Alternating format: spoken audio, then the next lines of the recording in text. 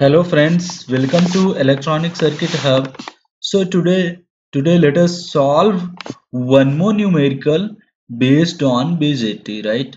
So determine if if the BJT is in saturation region. So you have given one circuit here, you can see, and we have to find if the if the transistor that is BJT is in saturation or not okay so let us see how we can find if this this BJT is in saturation. Okay so you can see basically this is uh, this is common emitter circuit. Okay so you can see your emitter is common for input. This is your input loop right? This is your input loop and this is your output loop right?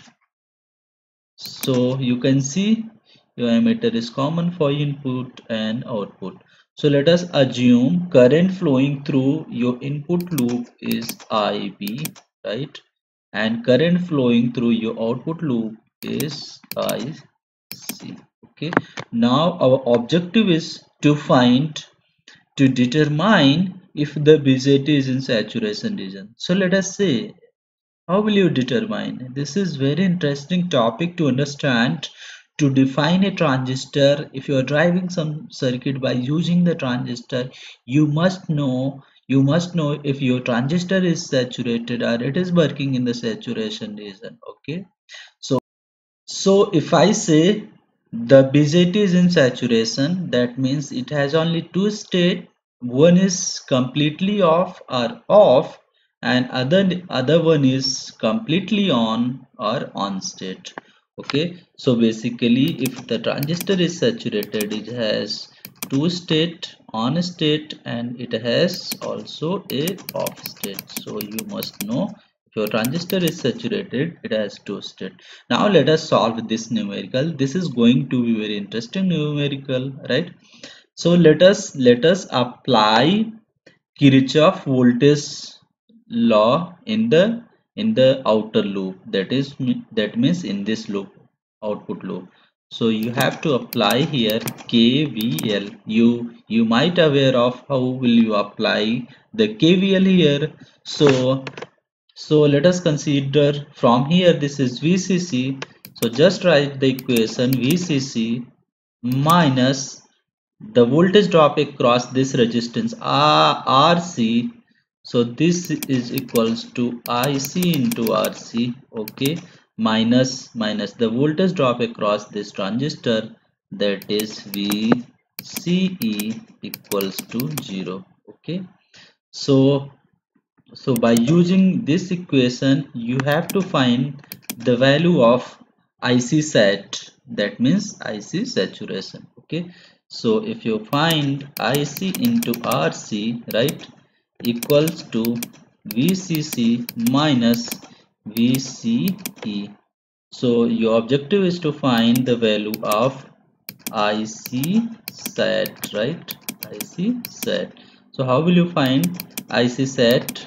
VCC minus VCE divide by RC. Okay. If you replace the value that is VCC equals to 10 volt right minus VC equals to 0.2 volt divided by the value of RC equals to 1k so if you solve this if you solve this you you will find 9.8 volt divided by 1k so your current value is your current value is so you can find the value of IC sat equals to 9.8 milli okay 9.8 million if you solve this. So this is this is the value of your IC sat. Now let us let us find let us see if IB is large enough to produce the value of IC sat. So now let us find let us find and see if IB is large enough to produce the IC sat. So now this time you have to apply you have to apply KVL in input loop. Okay. So let us use some other color for for input loop okay? So you must apply kvl in this loop right? In this loop. So just apply the kvl okay? So how will you apply the kvl so you can find vbb right? Vbb minus ib into rb minus vbe equals to 0 right? Vb equals to 0 if you solve in terms of if you solve in terms of ib so what would be your equation? Vbb minus vb divided by rb now uh, you have everything. So your vbb is 3 volt minus vb 0.7 volt as you already know.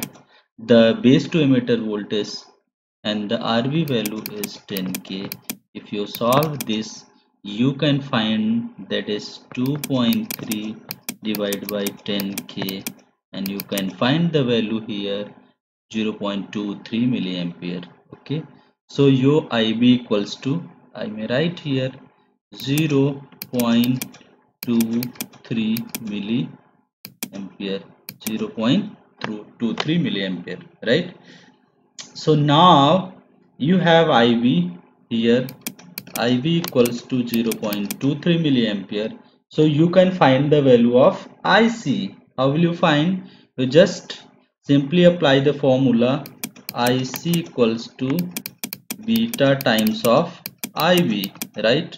And what is your value of beta? It is 50 and if you multiply by 0.23 milliampere right? 50 multiplied by 0.23 milliampere you will find the value of IC equals to 11.11.5 milliampere right so you have let us use some different color here. Okay yellow.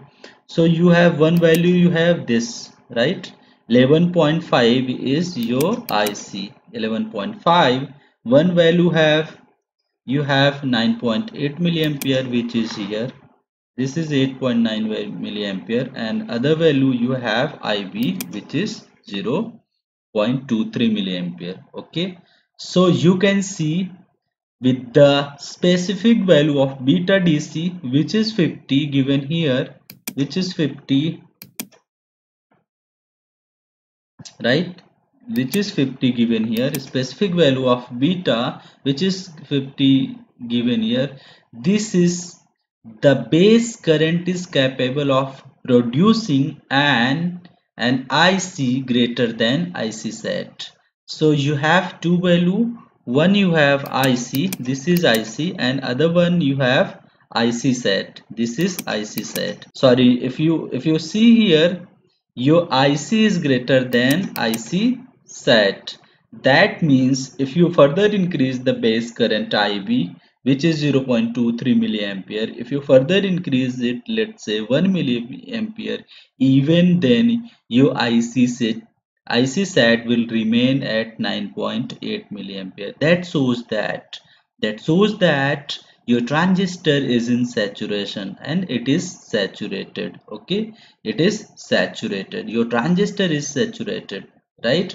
So if you if you want to conclude this uh, that this base current is capable of producing an IC greater than IC sat. Therefore your transistor is saturated